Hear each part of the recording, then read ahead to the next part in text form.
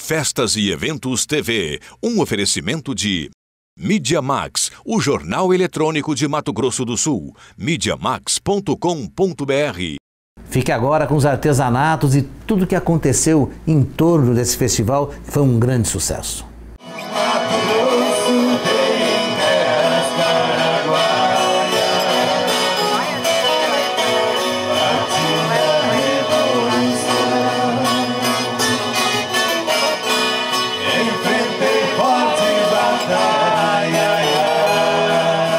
Décima segunda edição do Festival América do Sul Pantanal reuniu 470 artistas em Corumbá durante três dias de festa.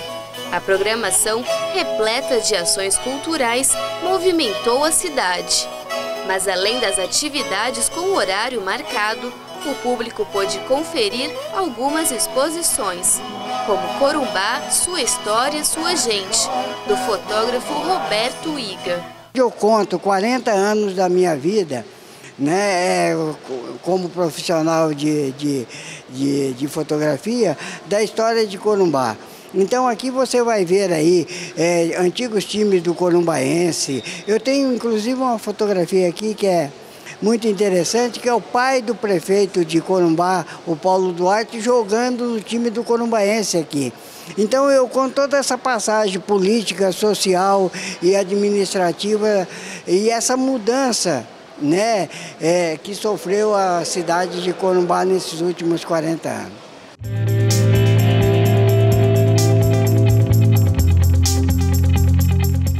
Objetivo de trazer um pouco da história da comunidade de Corumbá a exposição Minha Terra Querida, realizada no SESC, foi representada por imagens selecionadas de artistas da região.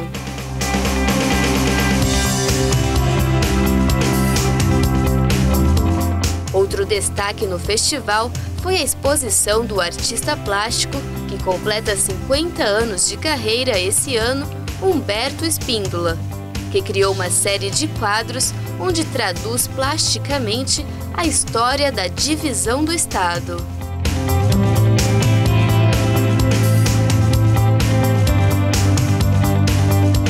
E para quem aprecia o artesanato, a Praça Generoso Ponce foi tomada pela feira de artesanato composta por países da América do Sul, como Uruguai, Bolívia, Colômbia, Argentina, Brasil e Peru. Com muitos detalhes e cores, as peças revelavam as singularidades de cada nação.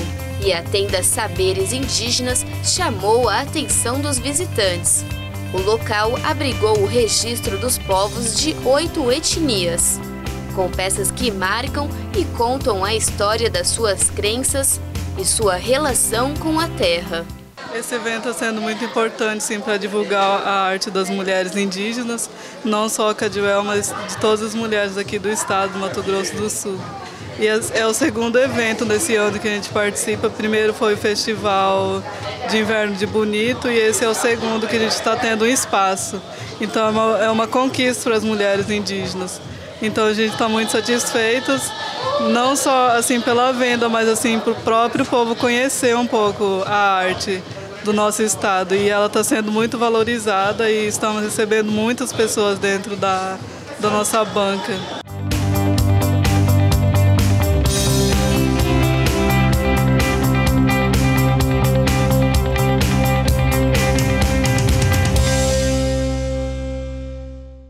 Obrigado por assistir nossos vídeos. Quero lembrar que você pode compartilhar esse vídeo com seus amigos e também acessar o nosso aplicativo. Ele é muito simples, muito fácil, até porque o Festa Eventos TV respeita o seu horário nobre. Você pode assistir na hora e quando você quiser.